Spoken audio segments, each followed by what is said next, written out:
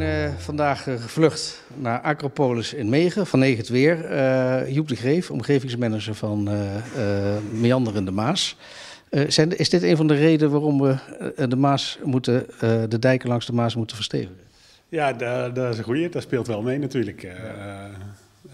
Nou de, de, bui van nu is misschien niet meteen de klimaatverandering, maar dit zien we natuurlijk wel vaker gebeuren. Dus dat is inderdaad wel een reden waarom we naar de toekomst toe gewoon uh, wel versterking, uh, versterking nodig hebben van de dijken en ruimte voor de, voor de rivieren.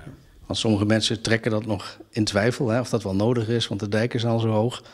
Uh, waar is dat op gebaseerd, dat de dijken nog niet hoog of sterk genoeg zijn? Um, dat is gebaseerd op klimaatscenario's. Uh, uh, daar kan je alles ter discussie stellen, maar is het wel dusdanig veel kennis onder. Um, dat wordt ook gehanteerd in, in de rest van het land. Hè. Dus alle dijken zijn beoordeeld in 2017. Um, en met die berekenmethodes uh, zijn, is deze dijk uh, nou ja, afgekeurd op een aantal uh, vlakken. Dat wil niet zeggen dat hij vandaag onveilig is, maar vooral als je doorkijkt richting 2050, dan zie je gewoon dat de waterstanden die echt wel fors gaan toenemen. en dat de huidige dijk daar niet sterk genoeg voor is. En die waterstanden nemen toe vanwege weer als dit vandaag, of de afgelopen maanden. Oké. Uh, mag ik zeggen dat op 4 juli eh, liggen uh, de besluiten ter inzage. Is dit het schriftelijke of documentaire eindstuk van het hele traject? Uh, ja, eigenlijk kan je zeggen dat het eindstuk van de, van echt de planfase is voor ons. Dus we hebben afgelopen zomer hebben we alle ontwerpbesluiten ter inzage gelegd. Hebben mensen zienswijze op in kunnen dienen.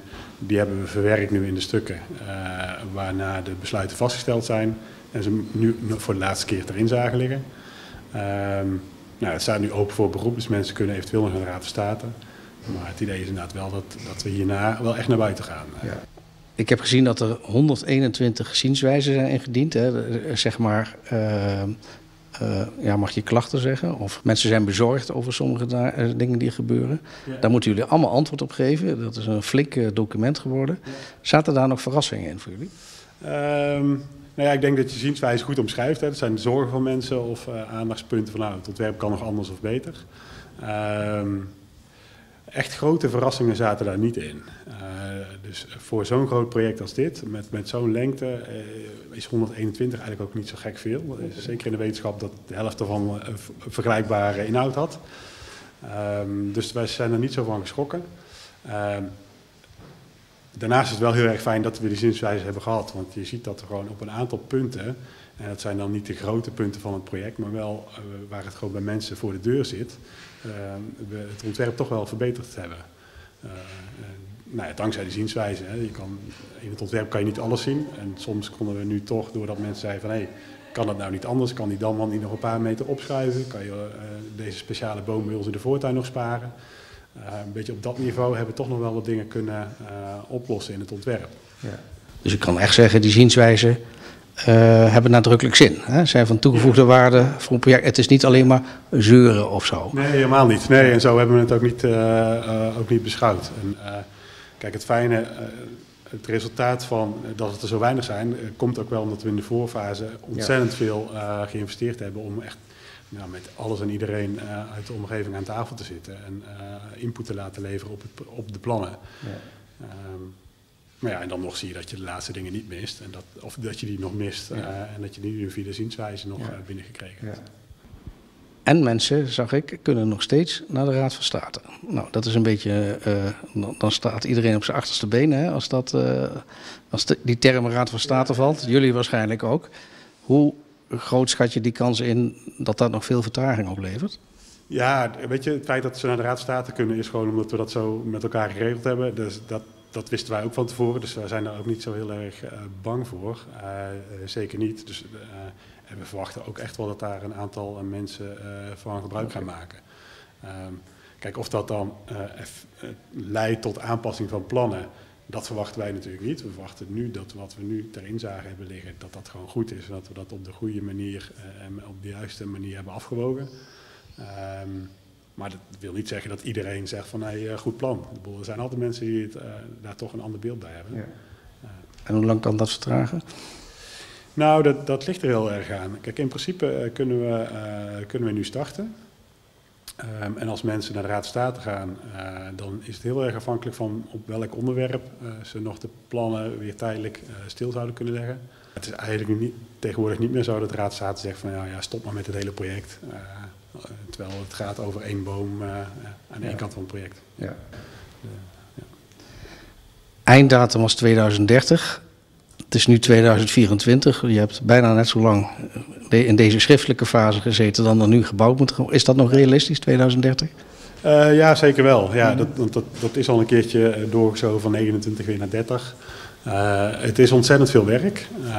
Kijk, er moet uh, nou, een hele hoop damwanden de grond in. een hele hoop klei moet uit die geul de dijk op. Dus dat, dat kost een hoop tijd. De bedoeling is wel dat we 2028, dat dan de dijk al klaar is. En dat we nou, daarna nog bezig zijn om de uiterwaarden netjes te maken en alles op te ruimen. Um, maar dat is wel de verwachting dat we nou, 2030 wel gaan redden. Geen last van stikstof, om maar iets te noemen. Nee, heel uh, goede vraag. Uh, nee, we hebben geen last van stikstof. We hebben wel een uh, vergunningsaanvraag gedaan. Dus we hebben wel een hele berekening moeten doen van het materieel wat we inzetten. hoeveel stikstof stoot dat uit? Wat voor effecten heeft dat? Um, en we hebben een deel van ons materieel wordt elektrisch materieel. En daarmee redden we het om. Ja, de stikstofvergunning is, heeft een positieve afwijzing gekregen. Nou zijn er afgelopen maand hier twee bijeenkomsten geweest in, in Acropolis, waar jullie het definitieve besluit hebben neergelegd. Hoe reageerden over het algemeen de bezoekers van die bijeenkomsten? Um, nou, dat, dat, heel wisselend. Er zijn een aantal mensen die uh, natuurlijk al veel vaker uh, op dit soort bijeenkomsten geweest zijn. Of die zienswijze hadden ingediend. En gewoon de vraag hadden, goh, leg me eens uit uh, wat jullie geantwoord hebben. We zagen ook mensen die gewoon voor het eerst binnenkwamen. Om misschien nog terug te komen op twee zienswijzen die ons in ieder geval opvielen. Twee van die 121 die er geweest zijn. Um, er waren best veel gemeenschappelijke vragen over het scheiden van fiets en voetpaden. Ja. Lopen, lopen die niet elkaar doorheen en krijgen we allemaal niet vervelende ongelukken of ongemakkelijkheden. Daar hebben jullie negatief op gereageerd of uitgelegd waarom het niet kan. Kun je dat hier nog een keer vertellen? Uh, dat kan. Um, wat we eigenlijk bewust hebben gedaan is uh, uh, de fietsers hebben van de rijbaan afgehaald. En, doordat we een nieuwe ruimte creëren, is er een vrij breed gecombineerd fietswandelpad. Um, daardoor wordt het veiliger voor de fietser die niet meer tegelijk met de auto op de dijk zit. wordt hij wel gecombineerd met, met de voetganger. Dat hebben we bewust gedaan, ook al vanwege de continuïteit op het hele traject. We hebben het grotendeels negatief gezegd, maar op, op, een aantal plekken waar het past, hebben we ook gekeken van, nou ja, kunnen we nou nog met een aantal keer extra maaien. Er is gewoon ruimte naast dat asfalt, mm -hmm. dat mensen daar nog kunnen gaan wandelen. Uh, dus dat, nee, dat is de toezegging die we nog uh, gedaan hebben. Bij, uh, bij Megen en bij Haren, waar daar ruimte voor is, daar is dat gedaan. En het tweede concrete geval is Ravenstein. De muur van Ravenstein, ja. de, de vestingsmuur. Dat heeft heel erg veel de publiciteit gehaald. En daar zijn ook veel de vragen over gesteld, heb ik gezien. Ja. Maar hij komt er. Um, ja, en ja, daar zijn, daar zijn vragen over. Wat je daar ziet is dat we daar de afgelopen jaren zijn we daarover in gesprek geweest met nou, alles en iedereen die daar wat van vindt en verstand van heeft. Ehm, en met al die partijen zijn we gekomen tot deze oplossing. en ja, er zijn nog steeds mensen die zeggen van nou ja, ik zou het toch anders doen. Um, of, of, niet doen? Oh, nou ja, kijk, het, het, feit is dat we daar iets moeten met ophoging en we moeten daar wat met, met schermen. Um, ja, in theorie kan je er natuurlijk ook een groene dijk van maken, maar dan ben je de rondelen weer kwijt. Uh, er zijn allerlei afwegingen gemaakt, uh, ook met de, de, de, mensen die daar verstand van hebben, de erfgoeddeskundigen, die zeggen van nou ja, die, die afweging heb je op de juiste manier gemaakt. Dus de, de, de Rijksdienst voor Cultureel Erfgoed heeft daarnaar gekeken, de commissie MER heeft daarnaar gekeken. Van nou, hebben jullie ook die afweging, heb je die goed onderbouwd? en daarvan zegt iedereen nog steeds, ja, dat, dat heb je gedaan. Wat niet wil zeggen, eh, kijk, het is niet zo dat wij een, een oude muur terugbrengen. Daar zijn we ons ook wel van bewust. Eh, het is, is, het is niet helemaal historisch verantwoord, maar wel naar beste weten, nou ja, geschiedkundig weten gedaan. Ja, en het is eigenlijk meer een, een eigen tijds toevoeging. Dus uh, het is niet, niet zozeer iets, iets terug willen brengen wat er ooit uh, wel of niet was. Um, maar uh, wel iets aanbrengen wat past in de sfeer die er nu is. En ja, ja, dat zal ongetwijfeld een van de onderwerpen zijn die we nog bij de Raad van State gaan terugzien. Ja. Ja. Ja. Nou staan we hier heel toepasselijk voor een mooie kaart. Welkom in het Graafschap van Megen, waar een heel groot gedeelte van het Maastraject waar deze dijkversterking tussen Lid en Ravenstein over gaat. In het projectplan staat er moet evenwicht zijn tussen ruimte voor de rivier, natuur en mens. Als ik dan naar vraag, zeg je natuurlijk ja, dat is in stand gekomen. Maar kun je gewoon eens een stuk zeggen, waar, waar is dat in jouw ogen uh, heel goed uh, gelukt? Nou, ik, ik, denk dat het, uh, wat dit project mooi maakt, is juist die, die oude Maasmeanders die je terug openmaakt. waardoor je een heel gebied waar Kijk, en daar zit, daar zit natuurlijk nu veel landbouwgrond. Daar zit, natuurmonumenten zitten daar nu ook al met gronden. Maar waar je dat gebied, je gaat en ruimte creëren voor water en natuur. Uh, maar ook voor, voor, recreatie. Dus daar komen allerlei wandelpaden doorheen, waardoor echt mensen die hier in de buurt wonen wel echt een, een wandelgebied erbij krijgen. Ja, dat is eigenlijk, uh, hier zie je, de, zie je de dijk bij Megen, uh, hier, zie je, hier zit de camping. Maar eigenlijk de dit, de camping de Maasakker, ja. Dus eigenlijk dit hele gebied komt dadelijk nieuwe geulen in. Uh, dat wordt wel echt heel anders, uh, komt dat eruit te zien. En, en, hier lopen de koeien nu, hè? Ja. Wil, ja. En daar kun je straks doorheen dan bijvoorbeeld? Of? Ja, daar kan je doorheen wandelen. Ja, ja. ja. Dus de, okay. uh, deze weg die, die komt straks te vervallen, maar hier kan je nog wel, je komt wel een wandelroute doorheen. En wij zagen toen we hier naartoe reden al bomen met een lintje eromheen, kapvergunning. Ja. Dat was op deze weg, de Maazakkerstraat. dat, dat zijn al de eerste tekenen van dat er iets gaat gebeuren. Ja, eigenlijk uh, een van die 18 besluiten is de kapvergunning uh, voor het eerste jaar. Dus voor de, de bomen die we komend jaar uh, willen gaan kappen. En daar zit inderdaad als voorbeeld bij de Maasakkerstraat een flink aantal bomen bij die gekapt gaan worden. juist om ruimte te maken straks voor die gul. Um, en voor al die bomen die gekapt worden, daar komen ook allerlei nieuwe bomen voor terug uiteraard. Dus, in totaal komt er eigenlijk iets van 90 hectare aan ooibos terug. We hadden het al over eh, de bomen hè, die, eh, die gekapt gaan worden. Wanneer beginnen de echte werkzaamheden dat mensen er ook iets van merken? Ja, ja goede vraag. Nou ja, dat, de, dat zal echt wel na de zomer zijn. Uh, dan gaan we inderdaad een deel bomen kappen. We gaan ook uh, de Kate, dat is onze projectlocatie. Die komt bij de Onderweg 2 in Megen. Daar komt een grote locatie waar we samen met de aannemer gaan zitten. En daar start het ook echt in Megen? Ja, ja, dat klopt. Ja. En dan gaan we op, op een. Op, nee, het is allemaal opgeknipt in dijktrajecten, dus we, we beginnen niet overal tegelijk. Uh, en dan is de bedoeling dat we rond de, uh, de jaarwisseling starten bij het eerste dijktraject. Uh, en ook het eerste traject in de uiterwaarden. Dus dan, en, en dan ga je echt wat zien. ongeveer van huis, huis, huis ter Diede richting Ravenstein, okay. richting het spoor toe. Dat ja. Zal, ja. Ja. dat is een lang traject dan. Ja, precies. Ja, ja, ja, ja, We kunnen mooi aanwijzen op, de, op de kaart. uh, we werken vanaf uh, hier tot aan het spoor zit een beetje volgend jaar. Dus dat uh, zal 25 zijn. En dan, dan, volgens mij springen we dan daarna naar een ander dijktraject. Dus we gaan... Okay. Ja, dus de mensen die over de Dam gaan, ze weten in Ravenstein, die zullen het volgend jaar al zien. Ja, ja, ja zeker. Ja. Okay. Joep de Geef, heel erg bedankt voor dit interview. Ik kan je niks anders dan heel veel succes wensen met de uitvoering dat 2030 ook daadwerkelijk uh, gehaald wordt. Uh, succes ermee. Ja, hartelijk dank. Ja. En uh, fijn dat we het hier konden toelichten.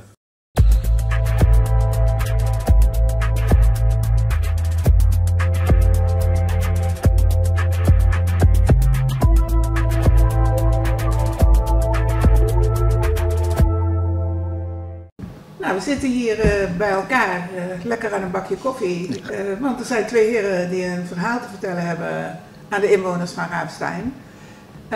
Hans Weijers en Wil Prinsen. Ja.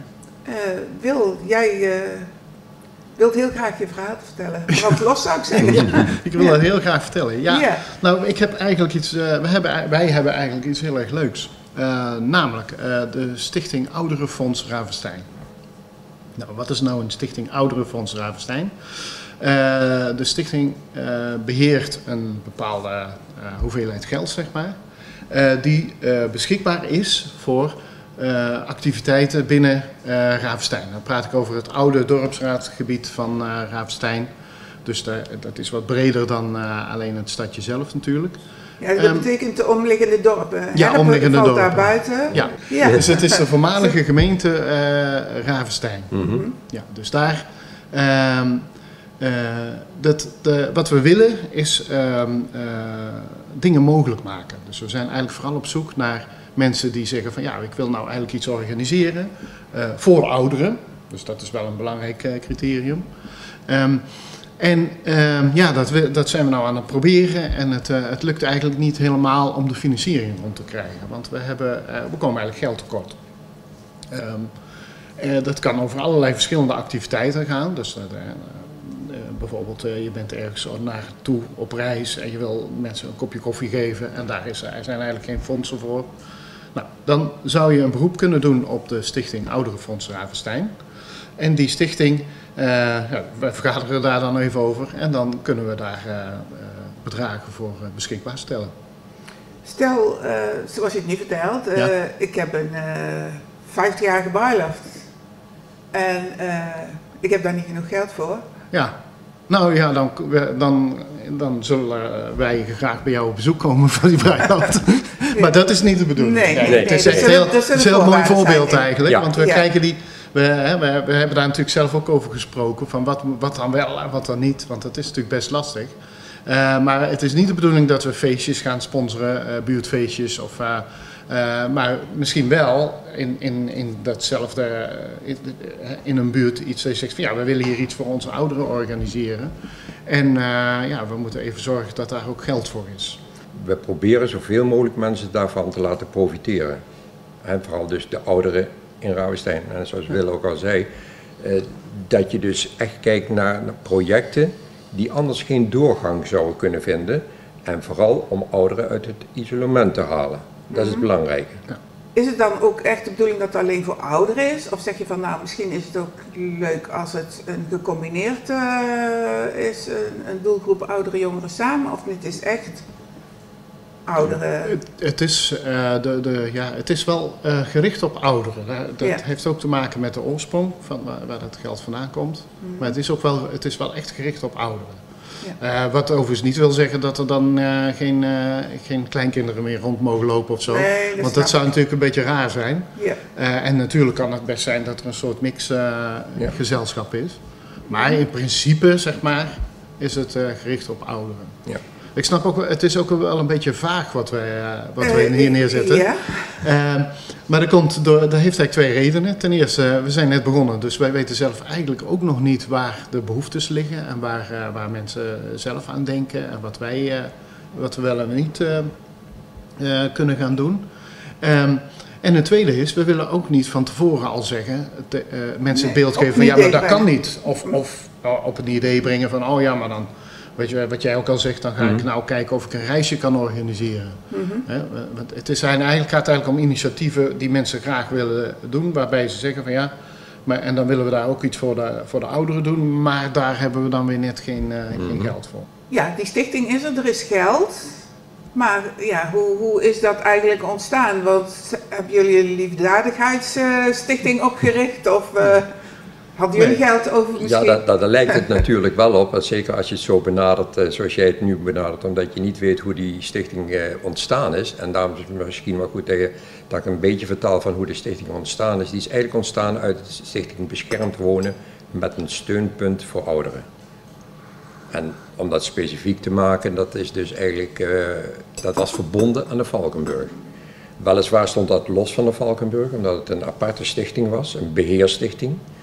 En uh, die, uh, die beheerde dus eigenlijk de openbare ruimtes binnen de Valkenburg.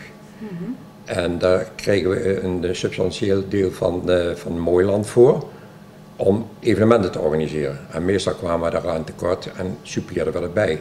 Hoe kwamen we dan aan het geld? Door dus de zaal weer te kunnen verhuren op de een of andere manier, et cetera. Zo kwamen we aan de gelden. Mm -hmm. En die gebruikten wij voornamelijk om de inventaris te kunnen vervangen. Want wij, de hele inrichting van die zalen en, en openbare ruimtes, en eh, dan moet je denken aan een tv-scherm en een uh, afwasmachine, die dingen allemaal, maar ook gordijnen en, uh, en tafels en stoelen.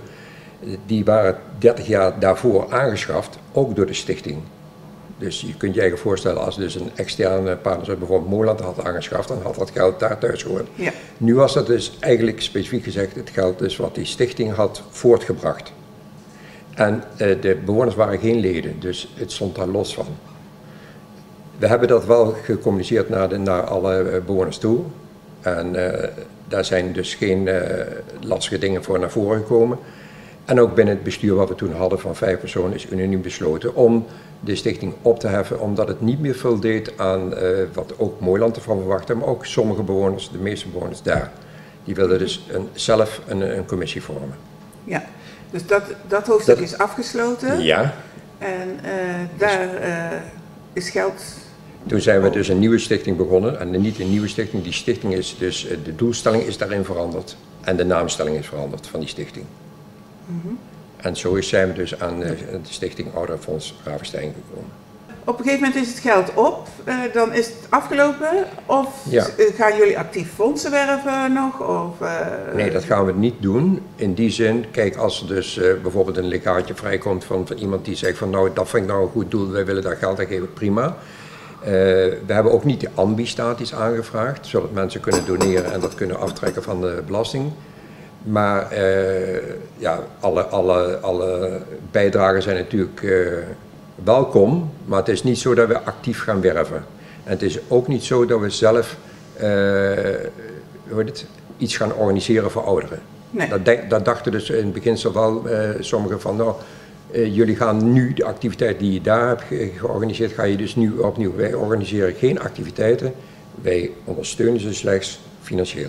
Hoe kunnen mensen jullie vinden? Stel, ze willen iets organiseren en ja. We hebben een website uh, ouderenfondsravenstein.nl. En daar kun je, uh, kun je ons vinden. Daar kun je ook vinden hoe je via de mail zeg maar, een aanvraag bij ons kan indienen. En mhm. dan gaan wij daarover vergaderen. En dan, dan krijg je snel antwoord. Dus we proberen natuurlijk zo snel mogelijk dan mhm. ook antwoord te geven. Ja. Is dat nou voor mensen heel erg lastig, zeg maar, dan ehm, uh, ja, uh, dan is het misschien wel handig om even een briefje te schrijven, een briefje te schrijven of, of dat bij mij uh, even ja. af te geven. Ja. Ten slotte, wij zijn allebei ook bekende gezichten in Ravenstein en, en, en, ook benaderbaar. Mm -hmm. Maar in principe willen we eigenlijk ja, zeg maar het zo anoniem mogelijk houden, zodat we ook niet. nee, ja, dat snap ik. Maar dingen... als je over oudere mensen praat, kan het dus gewoon lastig zijn. Er komt dus ook dus affiches te hangen in, in de wijkcentra et cetera. Ja. Oké. Uh, zijn er al aanvragen geweest? Er zijn wel uh, mensen die, we, die, die ik vertel, uh, verteld heb wat we doen, die dan zeiden van, oh wacht even, maar dan is het misschien als we, want we wilden een tijd geleden iets organiseren en dat lukte niet, want dat was eigenlijk te duur en dat konden we dus niet op de, via entreegelden terugvragen. Uh, vragen. Mm. dat was eigenlijk een heel leuk project daar gingen ze weer nieuw leven in blazen. En dan, ja. uh, en dan komt dat weer terug bij ons. Ja, want dus, je doet een verzoek in, maar er moet wel een onderbouwing bij zijn bij dat verzoek. Ja, er moet een verzoek komen en een, en een onderbouwing. En om uh, ervoor zorgen dat mensen niet uh, denken van, oh jee, wat moet ik dan allemaal doen? Onderbouwing kan ook gewoon een heldere, een A4'tje of een half A4'tje, een inschatting van zoveel mensen komen er, dit is het doel van de bijeenkomst, dat gaan we doen en dat is het totaalplaatje en dit hebben we dan nodig van, uh, van de stichting. Het hoeft geen uh, boekwerk in, in zesvoud te zijn. en er hoeft ook geen accountant bij te, nee. bij te komen. Nee. Het is gewoon, wij willen het juist heel erg laagdrempelig doen. Ja. En nog even voor de duidelijkheid, ja. van in het begin was het misschien een klein beetje onduidelijk. Het gaat over de oude gemeente Ravenstein, dus inclusief Herpen. Ja. Als ja. ik het goed heb, hè? Ja. ja. ja. We kijken natuurlijk wel, wij, wij weten bijvoorbeeld dat er ook zo'n fonds in Herpen is. Okay. Zo'n dergelijk fonds. Dus als ze daar alleen niet terecht kunnen, dan in principe is het vooral Ravenstein. Ja. Maar we hebben gezegd de voormalige gemeente Ravenstein. Ja. Nou, een prachtig initiatief zou ik zeggen. Uh, ja, mensen weten nu waar ze terecht kunnen en waar het te halen is. Uh, hopelijk ontstaan hierdoor heel veel leuke activiteiten in Raafstein. En dat is het belangrijkste, dat je de, de, ouderen uit het isolement kunt halen. En dat we dus echt kijken van, het moet kleinschalig zijn. Uh, we, willen niet, uh, we streven er niet naar om, om de gelden zo snel mogelijk van de hand te doen. Nee, we willen zoveel mogelijk kleine projecten steunen. Ja. Ja. Dus het mag, als het een, een, bedrag is, het kan net zo goed 100 euro zijn als 1000 zeker. euro. Ja, wat zeker. Je aanvraagt. Ja, zeker. Ja, zeker. Dus, nou. Ja, dat is, daar, daar hebben we ook geen... Uh, dat nee. is prima. Ja. Heel veel succes ermee. Ja, dankjewel. We gaan het doen. Fijn dat jullie dat uh, aandacht aan besteden, zodat we dus daar buiten kunnen treden ja. mee.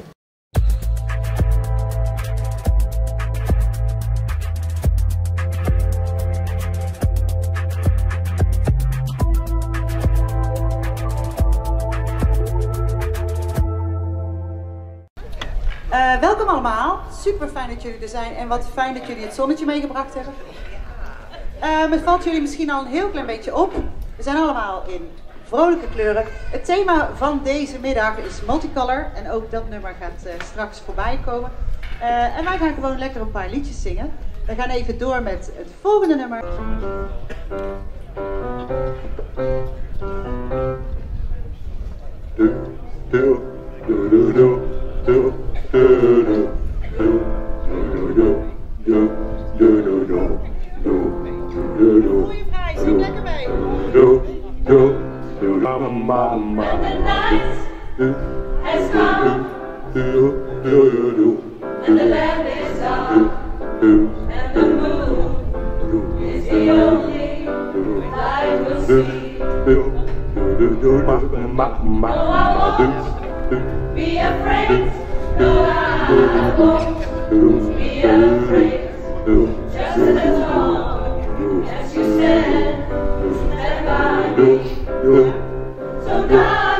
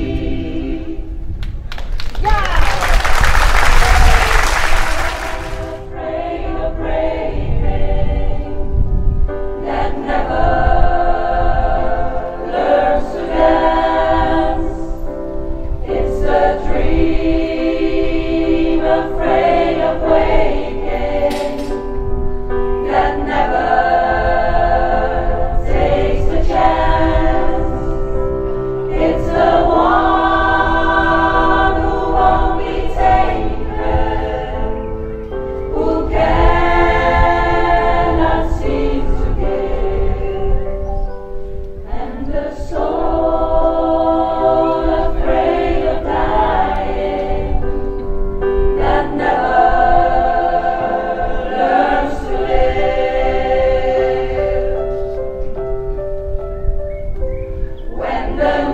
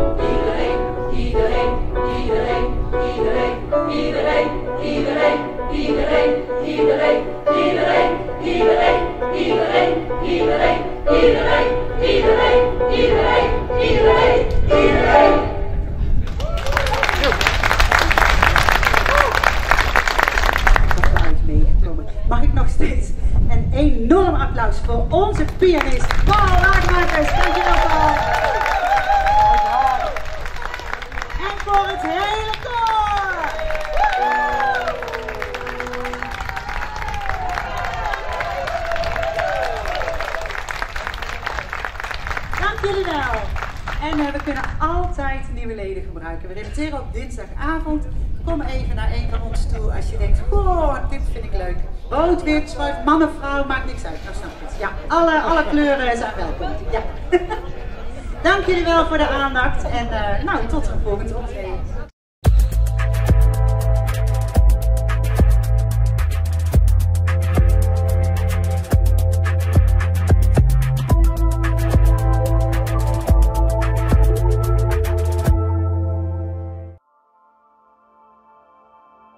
Musea.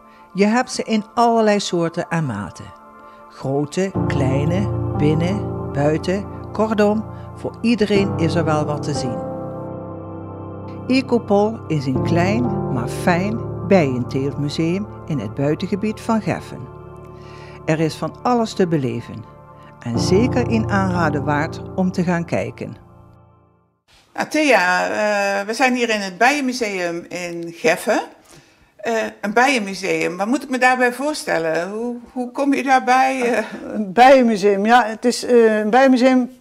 Hoe zijn we erop gekomen? We hebben dit gebouwtje gebouwd en er stond niks in. Het idee was om eh instructieruimtes te maken, omdat we les gaven.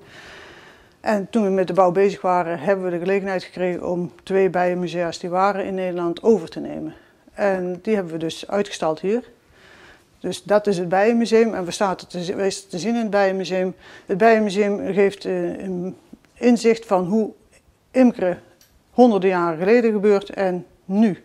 De hele omschakeling van korven, van klotsbuiten, houten uitgeholde boomstammen, tot aan kunststofkasten, van boompersen tot roestvrij stalen slinger. De, de hele geschiedenis zit erachter. Ja, hier zijn we in een ruimte waar... eh, De korven staan. ja, De omschakeling van korven naar korfka- eh, korfkasten en houten kasten. En hier zie je ook verschillende korven staan, want dit zijn de zwanenhalskorven, dit zijn weer de bischopsmutsen, de bruidskorven, uh, bamboekorven. waarom heb je verschillende korven dan? Uh, ja, elke imker heeft een beetje zijn eigen visie op het uh, bijhouden en dat is nog steeds, dat was vroeger al, dat is nog steeds. Okay. Uh, bischopsmutsen, ja, dat is dan een ja, een, een, vorm van een korf. Die zijn aan de binnenkant uh, wilgetenen, afgedekt altijd met een stroen muts. En dan heb je ook een bruidskorven en dat zijn, de, allebei zijn ze met buntgaas aan de buitenkant. En de, binnen, de bruidskorven zijn aan de binnenkant met stro. En ja, dat is weer een huwelijksgeschenk, er zit weer een gedachte achter.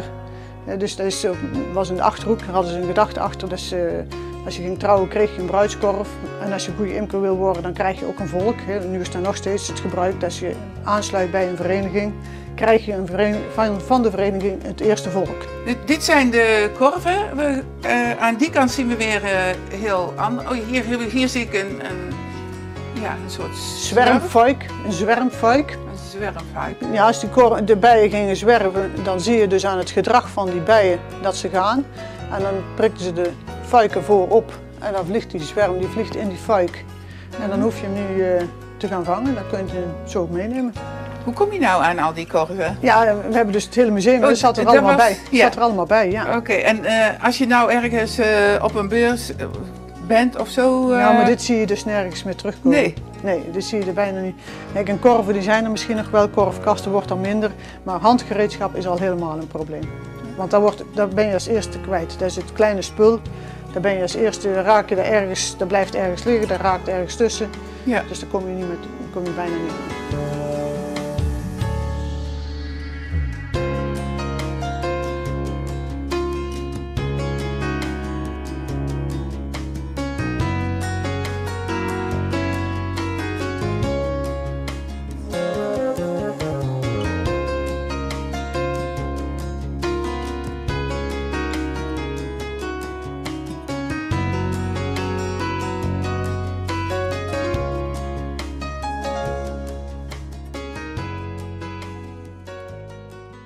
Ja, je vertelt nou heel in het korte verhaal, maar dat is natuurlijk een heel uitgebreid uh, verhaal. Uh, kun je daar iets meer over vertellen? Ja, dat is, dat is puzzelen, want ik zat natuurlijk helemaal niet in, uh, in, in etalage en etaleren en nee. dat soort dingen. Dus dat is inderdaad even zoeken en je zet het ergens neer, je zet wat korven bij elkaar, je zet de persen bij elkaar. En gaandeweg weet je gewoon van, goh, dit past mooier hier en dat past mooier daar. En zo heb ik het opgebouwd van korven naar kasten, van, of naar uh, korfkasten, houtkasten, kunststofkasten. En aan de andere kant hebben we dan weer de persen staan met de slingers en, ja, en alles wat ertussen zit. Dit is de handgereedschap om, om de korven te vlechten. Mm Het is een, uh, een uh, crisperrasp noemen ze dat. Dat is een, een koehoorn. Daar hebben ze gaatjes in geboord, want die uh, braamstengels die zijn van verschillende diktes. Die trekken ze er doorheen en dan trekken ze de doorn eraf. Vervolgens hebben ze een spleutsteker, die halen ze door, trekken ze er doorheen en dan krijg je een spleut uh, om te vlechten. Dus dan heb je verschillende vlechtbanden. Ja. En ja, dan heb je ook nog om uh, willige tenen de bast eraf te halen. De horens, en dat zijn weer voor uh, de dikte te maken van de... kijk, hier heb je een heel... Hier heb je een, een, het is een beetje uitgedroogd, maar dit is een, een braamstengel. En als die nat is, dan kun je hier heel makkelijk een spleutsteker doorheen halen en dan krijg je vlechtbanden. En hier heb je heel fijn vlechtwerk, maar die korf is weer een stuk grover. Dus je hebt verschillende diktes om te, te vlechten eigenlijk. Ja. En daar hebben ze dan die, uh, die vlechtringen voor. Maar dan hebben ze dus ook weer om, om die, door het stro heen te halen, hebben ze vlechtnaalden. En dan zie je dus dat het van been is, dan krijg je hout en uiteindelijk krijg je helemaal metaal. De, de korfhaken die zijn om korven te verhogen. Dus je kunt er een ring onder zetten of, hoger, of erop zetten. Dan krijg je dus, of je maakt daar een, eh, een, op, een doek maak je mee vast om hem op te doeken. Als je een zwerm hebt. Dit zijn weer korfmessen om de raten eruit te halen. En dit zijn spijlen om de korf te verstevigen. Die doen ze dwars door de renen, want ja, die korf die moet wel een beetje stevig en stabiel zijn. Mhm. Want anders dan gaat die raad allemaal kapot als je ermee gaat vervoeren.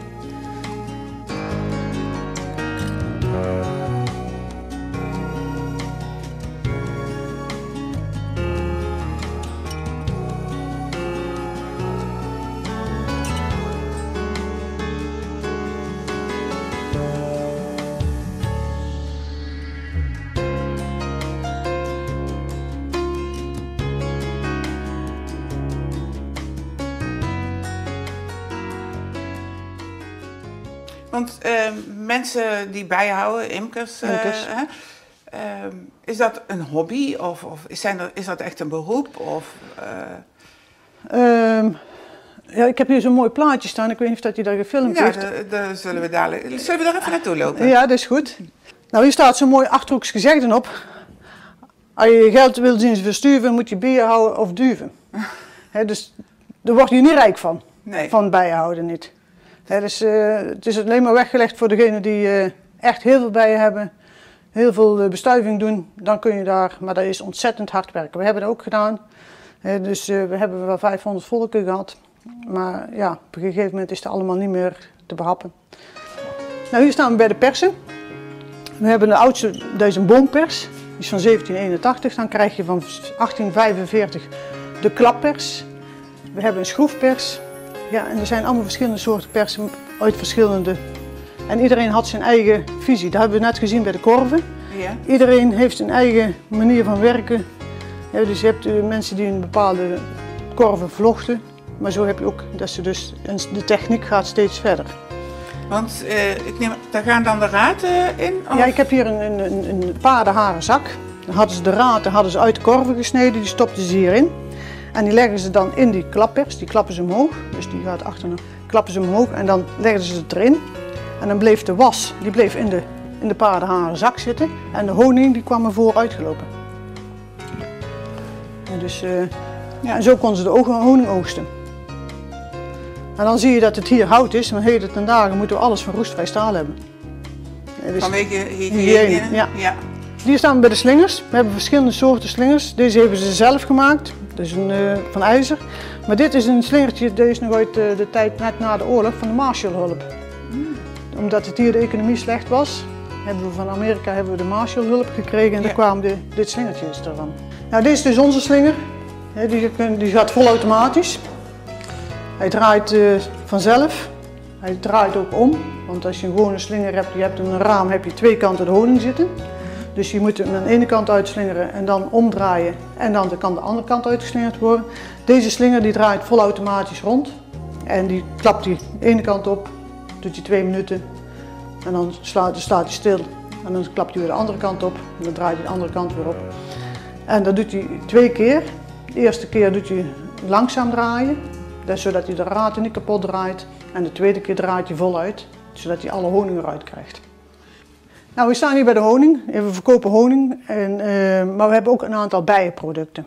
Want van honing, de honing is een van de bijenproducten die te verkopen en die er is. Maar de bijen halen ook, maken ook propolis. En propolis heeft een hele sterke antibacteriële werking. Daar halen ze van boomknoppen, dat wordt verwerkt. En dat wordt vaak gebruikt eh, voor mensen met huidproblemen. Met Aaften of dat soort problemen, of ontstekingjes. We hebben ook bijengif. Bijengifzalf wordt gebruikt voor eh, vaak mensen met reuma, reumatische klachten, eh in gewrichten. Hoesdrank. Hebben, eigenlijk zit er in, in heel veel producten, zit onder andere propolis, maar ook bijengif, stuifmeel, eh koninginnengelei. Dit wordt allemaal door de mensen ook ge- genuttigd. Eh, dus, nou, we hebben hier, eh dat verkopen we hier. We, hebben, we zijn op zaterdag en zondag op afspraak geopend. Dan kunnen we, ontvangen we groepen. ja. Dus als je met een groep bent, je kijkt op de website van jullie. Ja. En je kunt contact opnemen via de telefoon, via de website. En dan wordt erop gereageerd. En dan kijken we wanneer dat we tijd hebben. Dan Ja. zijn wij groepen welkom. hoe heet jullie website? www.ecopol.nl Oké, en daar kun je alle informatie vinden, kun je een telefoonnummer eh, Ja, vinden en kunt dan kun je een afspraak maken en Ja. een gesprek. Thea, bedankt dat we hier vanmorgen mochten zijn. Graag gedaan. Leuk eh, weer, heel interessant.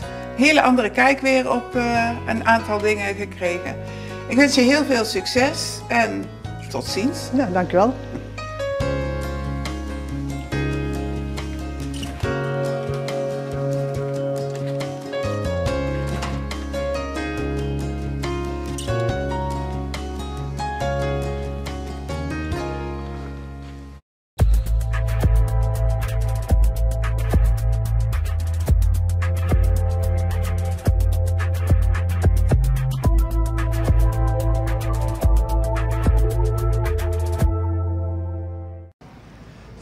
Gaan de bewoners van Huizen Maasland een uitstapje maken naar de dierentuin.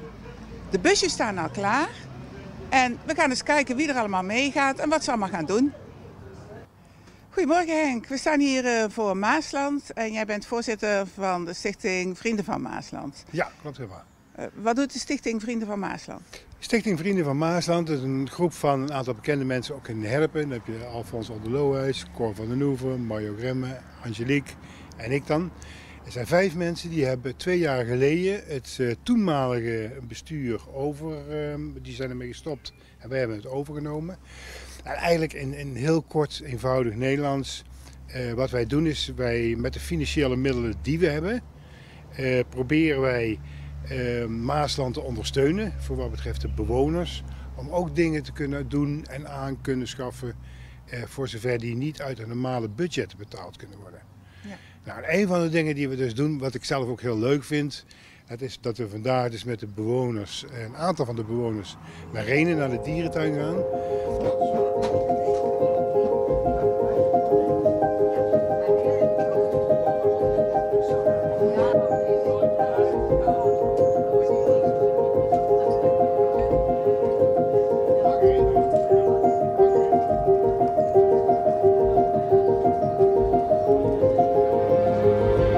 Vertel nou waar we naartoe gaan.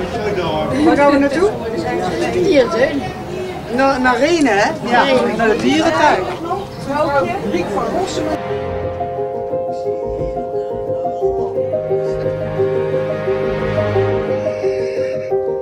We hebben uh, bij de ondernemers van Herpen gevraagd of ze willen sponsoren. Uh, we hebben ook ehm, uh, natuurlijk met, we hebben een flyer verspreid en gevraagd of bewoners van Herpen aan ons geld willen uh, doneren. Nou, en eigenlijk met die opbrengsten gaan we vandaag, uh, ja, ik vind dat een hele mooie dag. Ja. met iedereen die erin zit in het bestuur. En ook nog vrijwilligers van hier. We zijn met 26 man in totaal. En nou, dan gaan we een dag naar de dierentuin. Ja, ik vind dat sowieso zelf prachtig. Maar het is natuurlijk voor de mensen ook mooi. Hè? Ja.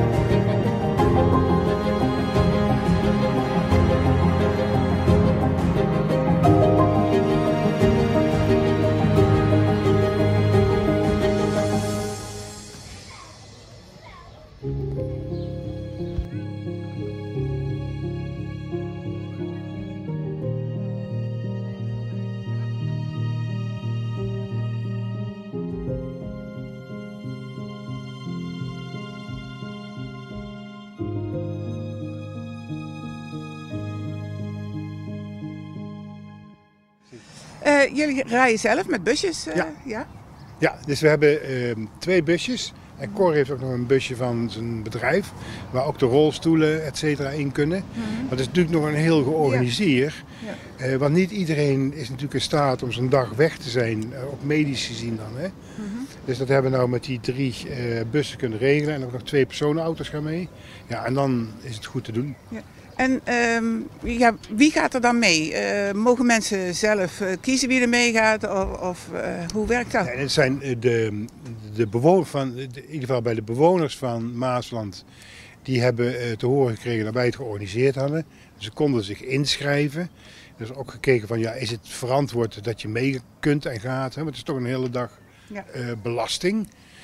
Uh, nou, en als er dan op een gegeven moment Fiat was, maar dat, niet dat wij dat gaven, maar dat nee, werd dan van hieruit. Ja. ja. En er zitten bij ons in het bestuur ook een aantal mensen die medisch gewoon goed geschoold zijn. Dan kun je ook verantwoord op pad ja. uh, daar naartoe. Want het, het, is, het is nogal wat, hè, dat je iets gaat doen wat ze normaal gesproken niet overdag doen. Nee. Wij zijn de hele dag op pad met hun. Ja. Jullie gaan uh, dadelijk om half tien uh, vertrekken. hoe ziet het programma eruit? Nou, we gaan als eerste zijn we, zullen we rond 10 uur, half elf uh, daar zijn. Dan gaan we met de, aan de koffie. En uh, ook nog met iets lekkers erbij.